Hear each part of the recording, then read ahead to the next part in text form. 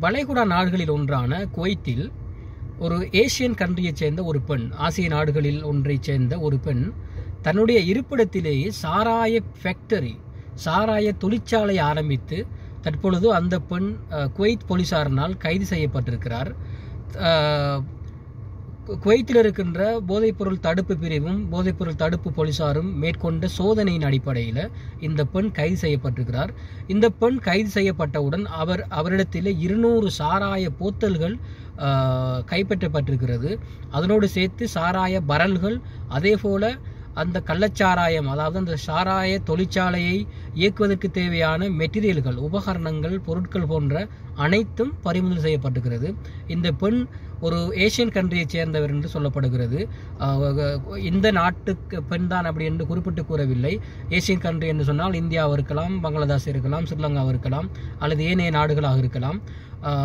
பொதுவாக Asian country அப்படின்னு சொல்லித்தான் அந்த செய்தியிலே குறிப்பிடப்பட்டிருக்கிறது. அப்போ அது அரபு நாடுகளை பொறுத்தவரையிலே இந்த போதைப்பொருள் பாவனை போதைப்பொருள் உற்பத்தி அதே போல போதைப்பொருள் கடத்தல் போன்ற போதையோடு சம்பந்தப்பட்ட எந்த விதமான எல்லா நடவடிக்கைகளுக்கும் பக்க- கடுமையான தண்டனைகள் வழங்கப்படுவது வழக்கம். போதைப்பொருள் குற்றவாளிகள் நிறைய பேர் வந்து கைது செய்யப்பட்டு அவர்களுக்கு அரபு நாடுகளிலே மரண தண்டனைகள் விதிக்கப்பட்டிருக்கிறது. சமீப காலமாக குவைத்திலே வசிக்கின்ற பெரும்பாலான வெளிநாட்டு அந்த வெளிநாட்டு நபர்கள் போதைப்பொருள் கடத்தல்களில் ஈடுபடுவது அதை- ஈடுபடுவதும் அவற்றை தடுப்பதற்காக குவைத் அரசாங்கம் பல்வேறுபட்ட நடவடிக்கைகளை மேற்கொண்டு வரு வருவதும் அடிக்கடி செய்திகளிலே வந்த வண்ணம் இருக்கிறது. கடந்த வாரங்கள் கூட ஒரு இந்தியாவைச் சேர்ந்த ஒரு நபர் அதே போல குவைத் நாட்டைச் சேர்ந்த குடிமகன் இப்படி பல நாடுகளைச் சேர்ந்தவர்களும் அந்த போதைப்பொருள் கடத்தல்களிலே ஈடுபட்டு போ- போதைப்பொருள் வியாபாரங்களிலும் ஈடுபட்டு கைது செய்யப்பட்டிருக்கிறார்கள்.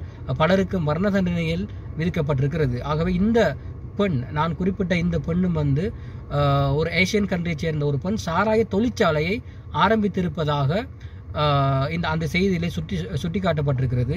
ஆகவே குவைத்து நாடுகள் அரபு நாடுகளுக்கு வேலைக்கு செல்கின்றவர்கள் அந்த தாங்கள் செய்கின்ற வேலையை தவிர்த்து இந்த மாதிரியான சட்டவிரோதமான தொழில்களில் ஈடுபடுவதை தவிர்த்து தான் சென்றோம் உழைத்தோம் வந்தோம் என்ற ஒரு ரீதியில் இருக்க வேண்டும் என்ற ஒரு ஒரு சுட்டிக்காட்டலை இந்த இடத்திலே குறிப்பிடுகின்றேன். நன்றி வணக்கம். அஸ்லாம் அலைக்கும்.